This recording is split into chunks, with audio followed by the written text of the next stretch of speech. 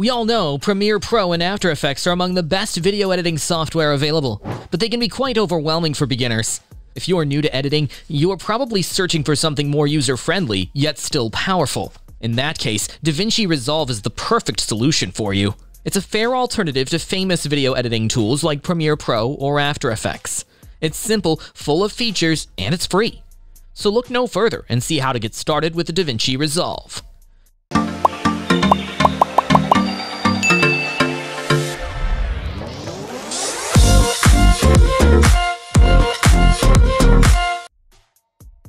First of all, go to Blackmagic Design's website and download the latest version of DaVinci Resolve and complete its installation.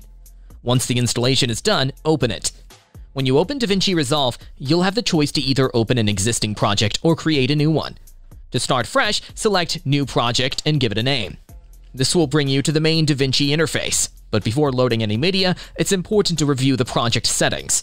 To access these, click the cog icon located in the bottom right corner. The first thing you should do is verify that the timeline frame rate is accurate and matches the footage you're editing. DaVinci Resolve defaults to 24 frames per second, so if your footage is shot at a different frame rate, make sure to change it.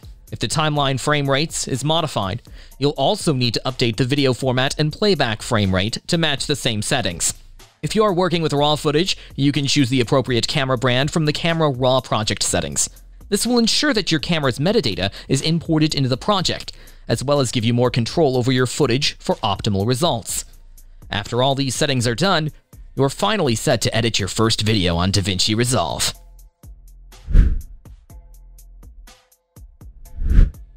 So you've already created a new project. It's time to bring in the video clips and other media you'll use to assemble your project. DaVinci Resolve offers several primary tabs dedicated to different stages of post-production. You can import files in a variety of ways, such as by navigating to the menu bar and selecting File, then Import, and then Import Media. Another option is to use the folder navigation menus within the Media tab, located in the top left window. If you are working within the Cut or Edit tabs, you can also right-click within the Media pool and choose Import Media. Alternatively, you can directly open the folder on your computer, select the desired media files, and drag them into the Media pool. While video clips will make up most of your imported media, DaVinci Resolve allows you to import other file types too. Images like JPEGs and audio clips for music or sound effects can be added using the same methods to ensure all necessary components of your project are easily accessible in one place. After uploading your media files and video clips, your next step is to trim the clips to remove any unnecessary sections. To trim your clips, Go to the Cut tab, select the clip you'd like to edit, and double-click its icon so it appears in the video preview window. From here, you can begin adjusting the clip. First, locate the point where you'd like the clip to start and press I to mark the in point. Then find where you want the clip to end and press O to set the out point. Alternatively, you can hover over the clip thumbnail in the media pool and use the in point and out point shortcuts directly from there. If you decide to adjust these markers later, you can revisit the Cut tab to update them.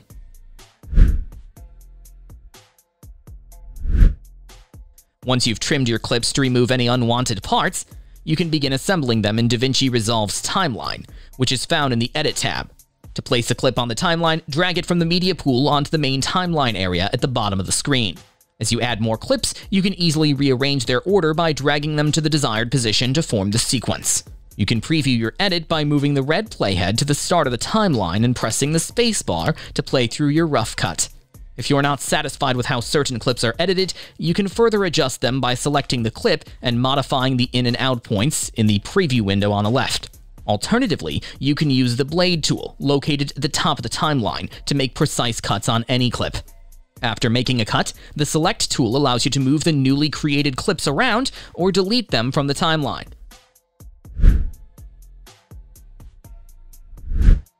So DaVinci Resolve provides two types of text tools, Text and Text Plus.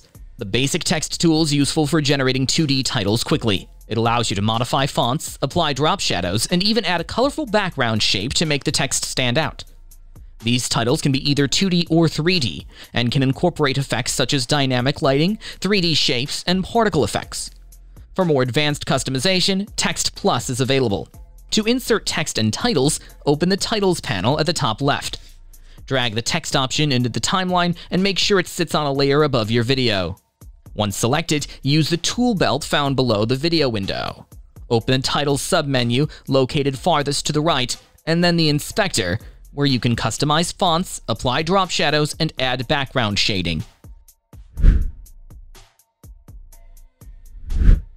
In order to add a transition in DaVinci Resolve, start by heading to the Edit tab. From the Effects Library panel in the top left corner of the interface, select Video Transitions from the toolbox. Drag the transition you want to use onto the timeline and place it between two clips. Then click on the transition icon in the timeline and open the Inspector panel in the top right corner. Here you can modify settings such as the transition duration and other options. DaVinci Resolve's wide array of transitions allows for extensive creativity, so we suggest experimenting with different shot combinations to see what new visual styles you can create. Though DaVinci Resolve's free version offers fewer effects plugins than the studio version, it still has a variety of useful options for beginners exploring the software. To apply effects to your project, head to the Edit tab and access the Effects library. From there, select Open FX from the menu. Choose the effect you'd like to use, then drag it directly onto the video clip you want to modify. Once the effect is placed on your timeline, open the Inspector panel to make any desired adjustments to the effect. If you need to remove an effect, you can either delete it from the timeline or use the trash bin icon in the effects panel. If you want the effect to apply across your entire video, you can achieve this by using an adjustment clip. You'll find this feature in the effects library under Effects and Adjustment Clip. Place the adjustment clip on a new layer in the timeline, then apply your chosen effect from the Open Effects menu to the clip for full timeline coverage.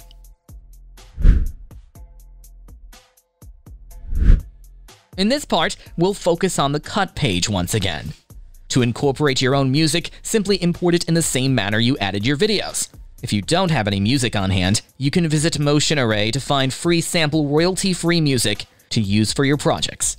To import music, follow the same process as you did for videos. Once your music is imported, drag and drop your selected track from the bin into the timeline.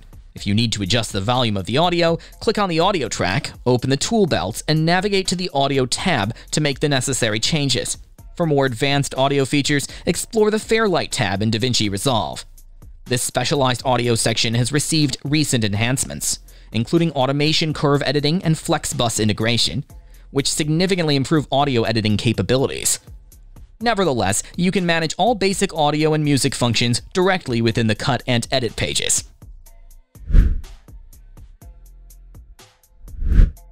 One of the best features of DaVinci Resolve, particularly compared to other free editing software, is the Color tab. This powerful tool enables users to enhance their footage through precise color correction. By accessing the Color tab, a horizontal row of clips appears in the center of the interface, so that you can choose individual clips for detailed editing. Once a clip is selected, it is displayed in the larger preview window.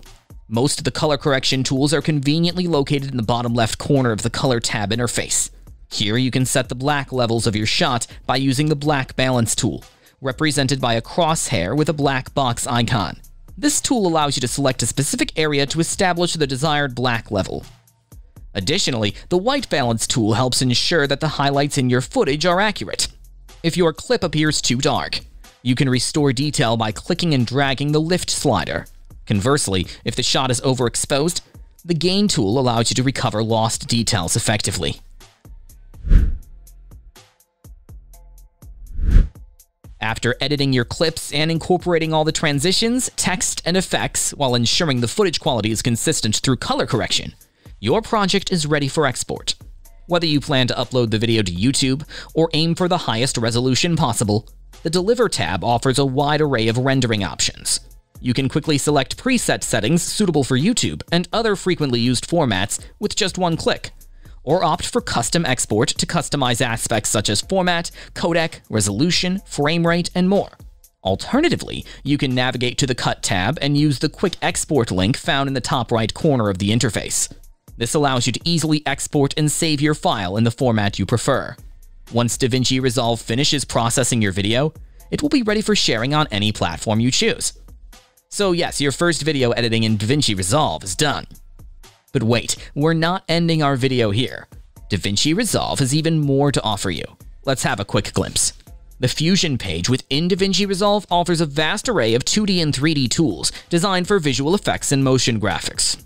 Additionally, the advanced animation curve and keyframe editors enable you to produce exceptionally fluid and lifelike animations.